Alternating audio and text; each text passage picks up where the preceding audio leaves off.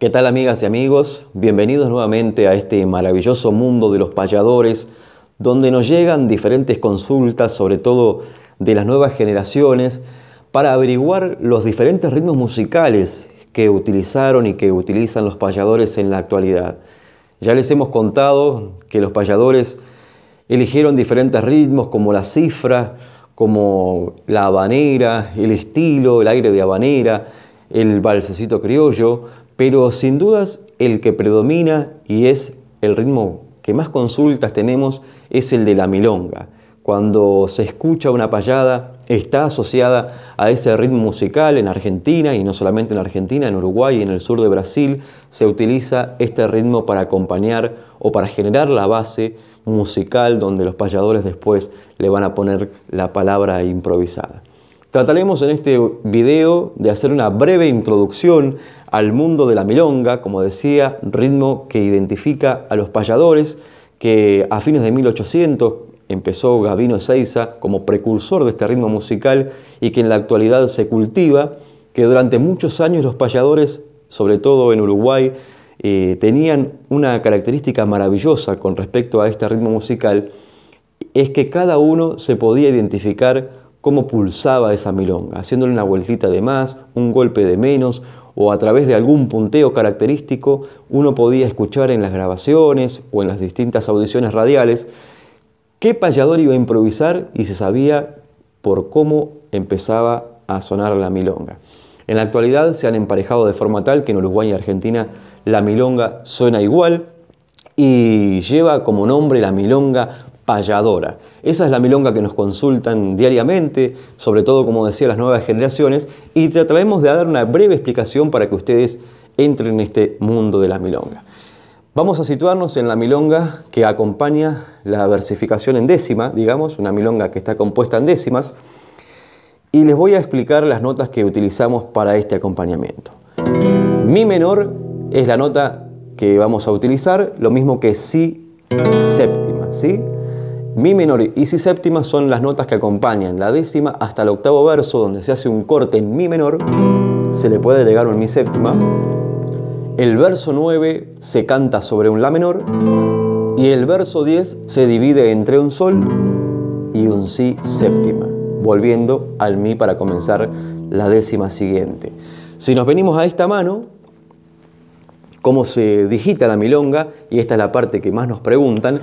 Bien, la milonga se utiliza la cuerda 5, la cuerda 2, la cuerda 4, se toca la primera y 3, 2, 1 para abajo, ¿sí? 5, 2, 4, 1, 3, 2, 1. Lo voy haciendo lento para que, para que tomen nota. 5, 2, 4, 1, 3, 2, 1. Si ponemos la nota en mi menor, queda así. A esto, después que se agarra digitación, se le agrega velocidad, ¿no? Que quedaría así. Pasamos así. Eso sería la base Después se le pueden agregar, quitar, pero esa es la base de la milonga. Y cuando se agarra esa digitación, los payadores utilizamos un segundo golpe en la cuerda tercera y esa ya sería la milonga payadora real. ¿Qué quiero decir con esto? Quinta, segunda, cuarta, primera, dos golpes en la tercera, segunda, primera. Es un golpecito más pero cambia eh, dándole un cuerpo mayor a la milonga y ustedes escucharán cómo queda.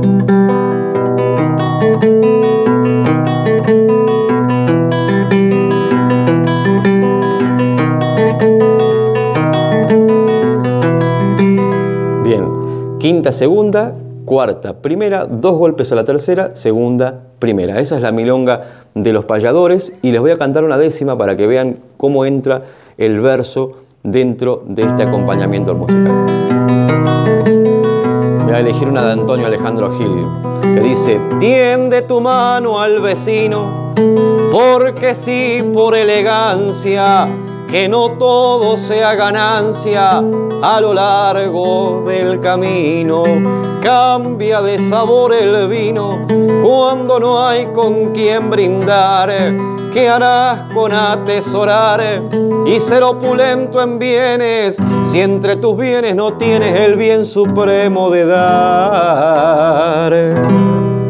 Y ahí tienen el ritmo musical que acompañan a los payadores. Espero que lo practiquen, que lo compartan también y no se olviden. Quinta, segunda, cuarta, primera, 3, 3, 2, 1.